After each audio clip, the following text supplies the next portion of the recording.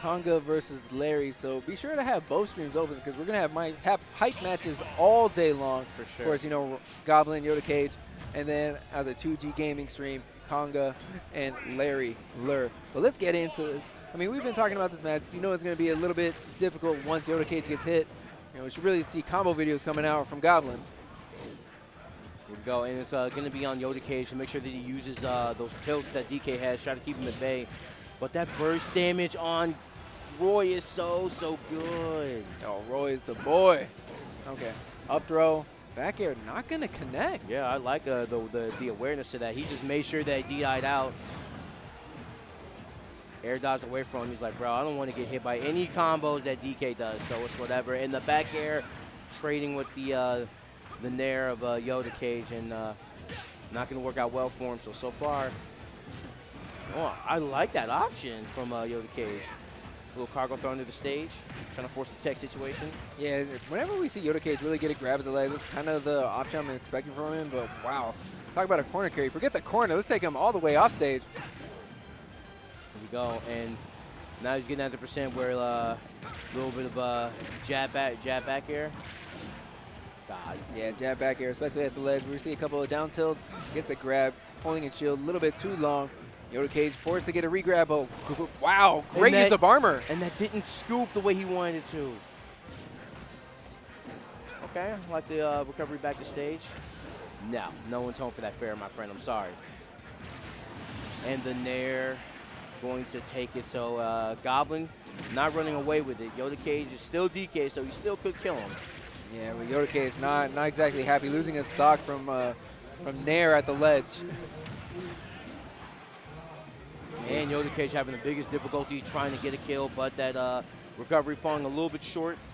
So uh, yeah, and Goblin had to like space his up B like that because you know Yoda Cage was looking for the back air. So he just wanted to get the trade for a multi-hit for that back air that would have definitely gotten a kill. Yes. So he's going for the uh, the jab, but a little stall in the air for the side B. Yeah, even going for like cross-up back airs, just in case Yoda Cage does want to turn around, like try and get the approach. But up B out of shield for Yoda Cage is going to put a good amount of damage on Goblin, falling up air into a sour spot up air. Very unfortunate for Goblin, but there's the double edge dance. Very, very powerful move, that side B, man. Very strong. So, unfortunately, uh, what we're looking at here between, you know, Goblin and Cage is that, like, sure, they're trading, but it's just like, of course, Roy's going to win all the trades. You know what I'm saying? His moves are faster and they hit way, way harder. So yeah, you'll even see like moments where uh, both the players will trade and then Roy will just recover quicker. Yeah. But now we have a character switch from Yoda Cage. We're bringing out a Koopaling. So is this make, is this like, well, this is a, a little bit better. You know what I'm saying? Like uh, DK not being as big, won't get comboed as hard. And you'll have a, a projectile to kind of circumvent the pressure that Roy does, but uh, you got the same situation. I mean, once you once Roy gets you on ledge, the edge guarding starts with the with the jabs and the up airs and the and the and the fairs and raw bears and things like that. Okay, but look at this item game coming from Goblin. What? I was gonna say maybe matchup unfamiliarity might play a part here, but I don't think uh, you know doesn't doesn't look like uh, Goblin's yeah. unfamiliar. Yeah. Unfamiliar also just don't care. This man just continuously swinging and knew he was going to go for the forward smash on ledge. But even look at the way that Goblin is approaching Yoda Cage. Yoda like, committing to using the Mecha Koopa and just full hop right over it. Perfect space in between the Mecha Koopa and the Koopaling and landing a forward air. Right, and you got to be really, really careful the way you land on that plat, too, just because this man could go for a side B. Whoop.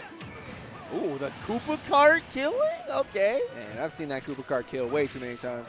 But Nair back air, not going to kill from center stage. Even throwing out a uh, cannonball to cover the recovery. Okay, my man Yoda Cage kind of uh, handling it way better than he did before. Yeah, Nair out of shield. As soon as uh, as soon as Goblin really be touching shields, you should be starting seeing like Nairs and uh, Nairs are grabs really. Yeah. And the way all the shield pressure's been happening, like eventually something is definitely something's gonna shield poke. Oh, interesting. Down air actually hit the Mecha Koopa, extended the hitbox, but still, uh, Yoda Cage was able to escape, but back air gonna land. That's gonna put, uh, take the first stock off Mecha Koopa. And that jab, uh, once that once it gets to about like what, like a hundred, like 100, 130, that jab starts to get a little bit of kill potential on that. So Oh, especially at the ledge, yeah. That jab is ridiculous when it comes to kills. Okay, retreating to the other side of the stage. Double Koopa cart. Double clown cart. Yep, and just more combos coming out. Like uh, we see a little bit more patience coming out from Goblin this stock around. But Yoda Cage got them at 96, playing real, real solid at the moment.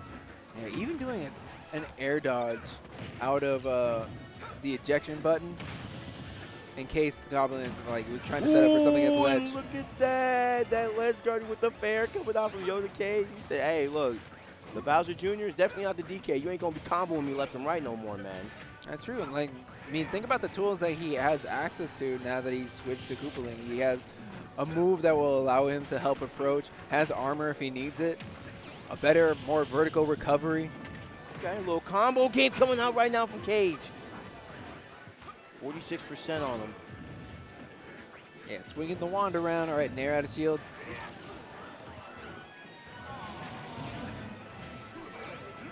Goblin. Having a little bit of difficulty trying to seal the stock on Yoda Cage right now, man. This man's at 119, but you're Roy. Uh, where'd that cannonball come from? Yeah, so Yoda Cage's been doing that a couple times already. What he'll do is he'll, uh, while he's in the bubble, he'll shoot the cannonball, and after it travels for a certain distance, it starts to fall, and it still remain, uh, retains its active hitbox.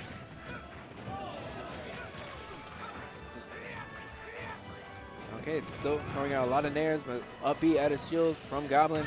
It's going to be what puts a little bit more damage on Yoda Cage. Ooh, going for the double edge dance on the platform. Got to, man. Uh, you know, trying to make these get, these uh, kill opportunities anywhere I can, but the double edge dance still kills. Yeah, having a little bit of difficulty just trying to really break the the defensive pressure from Goblin. Yeah. But Yoda Cage is going to drop down into losers now. Still in the tournament. Definitely. So still more chance to get more uh, more DK action. Yeah, mo- hopefully, hopefully. Like uh, that kill condition was uh, clear for Goblin. That man was like, "Look, bro, if I side B you with this percent at ledge, you're gonna die anyway, so it doesn't matter." And that that was his whole game plan from stock. And poor Yoda Cage. Yeah, I mean Yoda Cage was doing a good job of like actually pressuring Goblin, especially like center stage. He just committed to the clown cart Just a little too just, like, hard. just a little too hard. You know? and the and the pressure that Yoda Cage was doing to uh, Roy off stage. You know what I'm Mhm. saying? It was very very good, but it's just kind of difficult against a character like Roy, where like Roy has this just this this game plan, this kill condition that's so simple to execute. And, And uh, the worst part is like Goblin can actually camp out uh, Yoda Cage if he wanted to. He could just like commit to like falling fairs the entire time, yeah, and it makes it really difficult for for uh, Koopaling to challenge that unless they want to challenge with their own fairs. In which case, you know, you got a fair to fair option. Who's gonna come out on top of that? I'm yeah, not that's not what's up. not what's up at all. So uh, next up, it looks like we're gonna have uh, Zuck after his uh, performance uh, a couple uh, game or so ago versus uh, Wadi. that boy Wadi. Wadi. Wadi. Rob uh, Rick, Rob Richter. I don't think Rob is worried at all. No. Yeah. No, no, no. I don't think. Uh, I think we're going to see the Rob come out. We're going to see a lot of projectiles. Huge projectile war. Um, but on the other streams, don't forget that we do in fact have two streams, and uh, we have Rivers versus YMCA. So if you don't have the multi-twitch, I don't know if a, are we doing the we are doing squad stream? Yeah, have them both on. Hit that button. Where it Yeah. says squad stream, hit yes. Hit yes. Hit yes. Right now, you guys are uh, watching some sweet DK action on the other stream right now, and I am not. Of not. course. This makes me very sad. Okay. But we're gonna take a quick ad break. Oh wait, are we break? We're not breaking. We're just we got some ads to talk about, man. Look at this, Marson's Domain. Have you heard of this?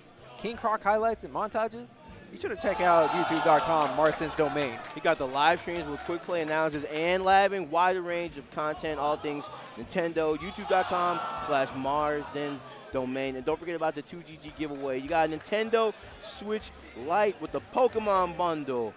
Not only a pretty good game, but also a pretty good console. I held it in my hand and it, it felt so comfortable. Yeah, it's comfortable. And of course, this is just in time for the holidays too. So if you're you got someone special someone in their life, they don't have Pokemon, they don't have a Nintendo Switch Lite, enter this giveaway. You might just get that present for free. And don't forget, uh, Bash Fest, 20,000. Uh, how much? 20,000 prize pool, February 21st to the 23rd in the Delta Hotels by the Marriott. And that's in uh, Burnaby, British Columbia, 430, 4331 Dominion Street uh, in Canada. So tgs.gg slash bash. Yeah, and so then, get your passports. And then follow Cosmos. Follow Cosmos. Inkling specialist. He's a free agent right now, man. He's got some there. weeby emotes. so if you're into that weeb, you know, if you're into the weeb life, right there, just toss that boy $4.99 a month. You get access to all those amazing emotes. And of course, you know, he's got some pretty